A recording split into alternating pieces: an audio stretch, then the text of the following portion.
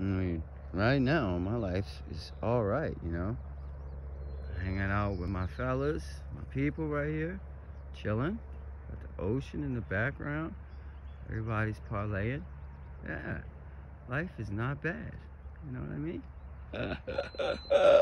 Yo, love y'all. I really love my freedom being homeless, but I hate that I really don't have any privacy. You know, I have no space that I can just be in my own space. I'm always pretty much around somebody else, unless I go into the woods, which I do sometimes. But damn, no fucking no peace, no fucking space, no fucking privacy. Ugh. So I first became homeless in New Orleans. So in New Orleans, you gotta watch your ass. Like everybody's a potential threat, and you fucking be on your p's and q's.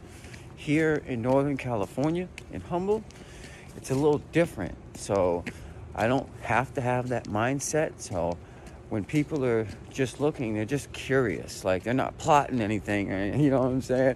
I have to realize that in my own mind. You know, this is a different place. People think differently here. And I'm happy for that. That's part of the reason I'm here. for real. Uh, time to get some food. Love y'all. No shit. That's fucking cool shit, man. That guy in front, he's like a leader. Hey, boo! Hey, hey, hey. Oh, you talking